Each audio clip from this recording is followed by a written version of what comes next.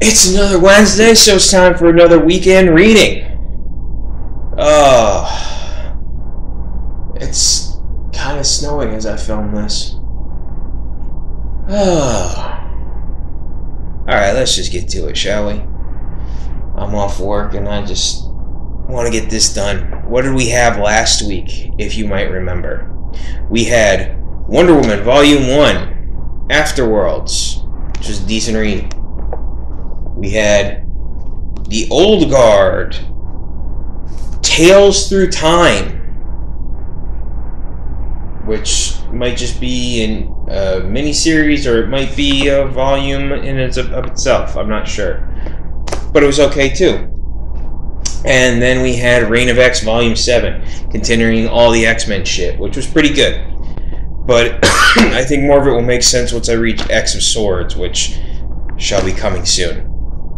Um, as for what was my favorite, it was Wonder Woman Volume 1 Afterworlds, which is surprise even me. Usually Wonder Woman is not my favorite, but I gotta say this time, I like this. This was a good read. It was uh, a decent story that would probably make more sense if I had read uh, Death Metal, the mini series that this directly spins off of, but I'm guessing at the end of Death Metal, Wonder Woman dies. I, I, I guess. Way to spoil that one, but it also means that she's coming back real soon, so it's not even that big of a deal, honestly.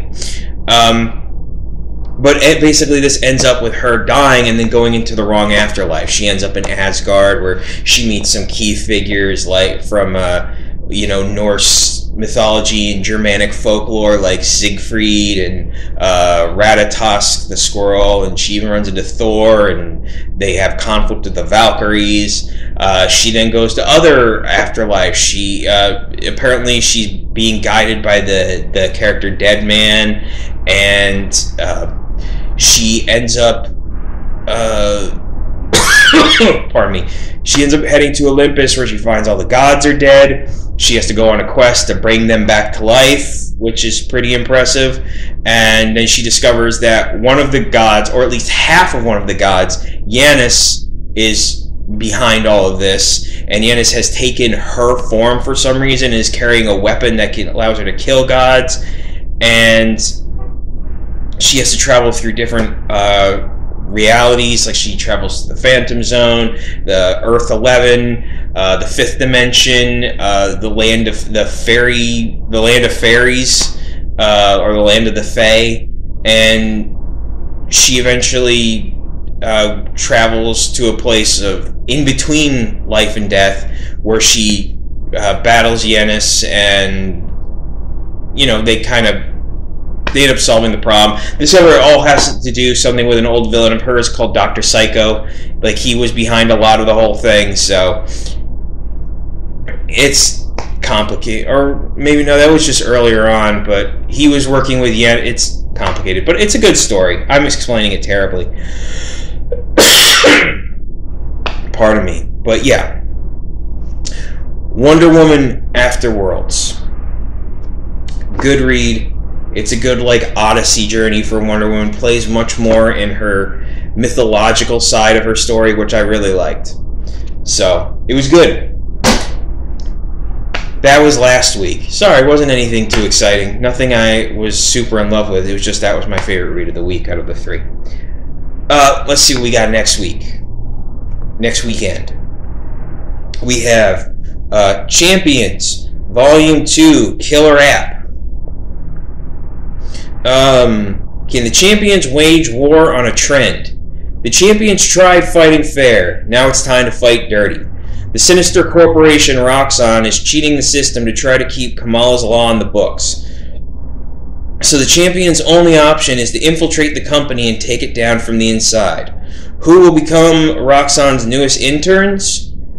Or who will become Roxxon's newest interns. Meanwhile, Roxxon's wildly popular app continues turning public perception against teen superheroes. In order to earn the trust of their cutthroat supervisors, the undercover champions will have to deliver the company an unwilling spokesperson, Kamala Khan herself.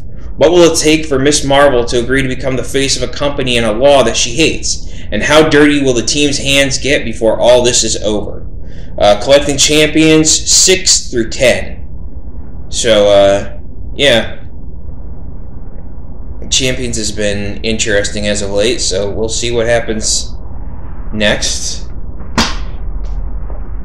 Next up, we got Green Lantern Volume 1 Invictus. Now, this is confusing because we just had a Green Lantern series, but they're two very much Green Lantern series. I think this is more like the Green Lantern Corps type series, even though it has the same name. Uh, let's see. The central power battery, the force that powers all Green Lantern's rings, has exploded.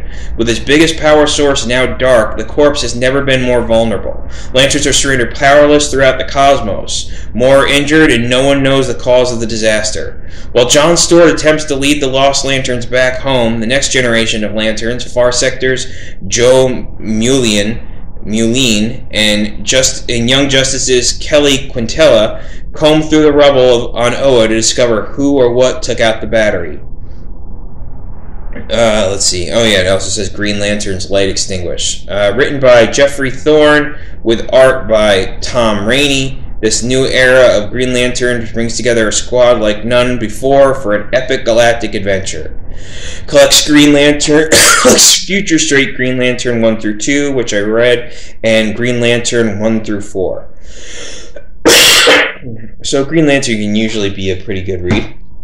I forgot to read the writer and artist on the other book. Whatever, it don't matter. Um, and let's see. Um, next we have Thor Volume 3 Revelations. Odin has returned. An air of tension sits upon uh, sits upon the throne. Father and son, all father and all father, Odin and Thor.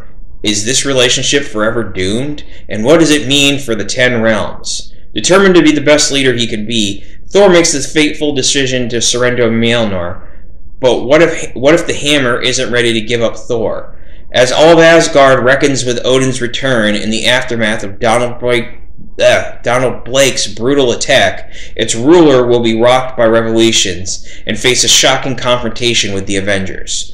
Plus, when the Infinity Stones return, Thor and a surprising guest star must confront a dark, twisted version of the God of Thunder who is determined to become the iron fisted ruler of all the realms. Collecting Thor 15 through 18 and Thor Annual Number 1 by Donny Cates, Aaron Kuder, Aaron Kuder Michael Bandini, Elizabeth D'Amico, Cam Smith, Matthew Wilson, and Chris O'Halloran. This could very well be the favorite of next week. Thor's been very good lately. So yeah, that's it. There really isn't anything super big to talk about. The biggest thing that happened recently is the announcement that there's going to be two new Captain America series, one starring Cap, one starring Steve Rogers, and another starring Sam Wilson. Other than that, there ain't really shit going on that I can think of. Nothing big, anyways. So I haven't thought of any questions. I've been kind of out of the mood for this lately. I'm not gonna lie. Not really feeling it. I'm not really doing anything with it. So I don't know. Ugh. This feels dumb to just talk to myself about it. And that's really all I'm doing. I don't know how much longer I'm going to do this. We'll see if I'm here next weekend. I don't know. We'll see. Either way, I hope you enjoy your weekend. I hope you enjoy your reading. Have a good one, folks.